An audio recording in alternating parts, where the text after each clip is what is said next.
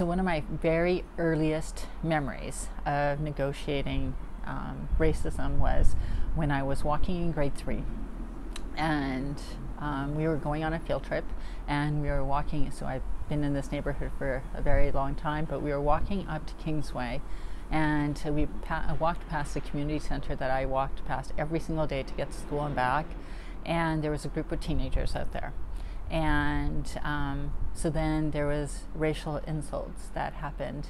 And I, I, didn't first realize it was you know to me. And our teacher was ahead of the line and we were walking in that two by two formation. And um, it was uh, you know making fun and saying uh, you know the stuff around oh packy go back to where you came from. Oh bunch of packies in here um, that kind of thing. And I was eight. So I, questioned how they could possibly know that in my household we spoke Punjabi, um, that we maybe ate Punjabi food, um, had a different name because that you know that wasn't on my exterior. It wasn't something that was on my appearance, and um, I spent a lot of time thinking about that. And then you know I think the, by the end of the evening I had concluded that it was my two braids, and I had these two long braids that's it. That's what gives gives it away. Um, and it wasn't because I on TV I saw a blonde girl with blue eyes with two braids. I'm like, oh, it's not the braids. Um, and then I was in PE later on that, maybe in like a week or two later, and we had the most fairest human that I've ever encountered with the blonde eyelashes.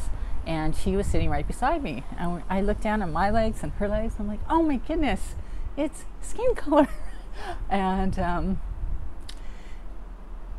and I didn't want to get rid of my braids, you know, and I, you know, and I love um, the color of my skin, and uh, so I think um, even despite you know getting all those um, messages that there's something wrong with people of color um, because we are different on based on our skin or on our hair or whatever it is, um, I was still very much attached to that idea of uh, very proud and empowered um, that this was a part of who I was, and it was a wonderful part of who I was. Um, but I think it takes a lot of um, parental um, just support for your identity um, for people of color to make sure that their kids have that sense. And it's not always there, and you know, I, and I've also internalized racism, and there's things and ways that I've had to um, unpack my own understanding of myself and also my community and also other communities around me.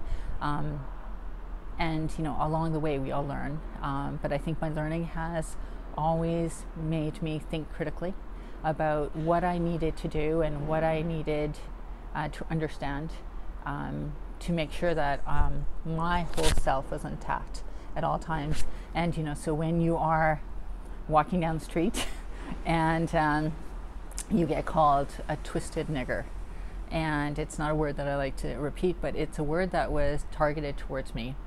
Um, on this day, I had my hair was um, twisted up top, and I was like, so I looked around to see um, who it was that this person was yelling this at.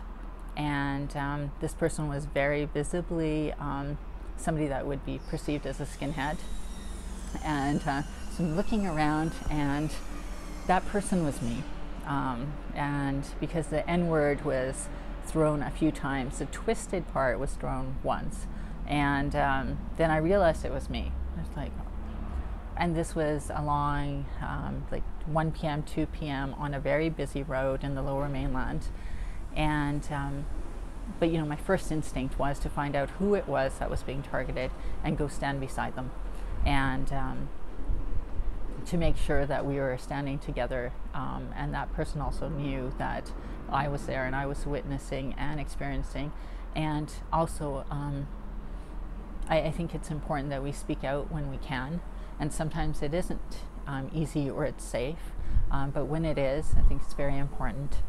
Um, and it doesn't give us a medal, right? The, those moments where someone is being targeted and uh, whether it's a verbal assault or whatever way, um, it is important that as a as humanity that we stick together and we support each other.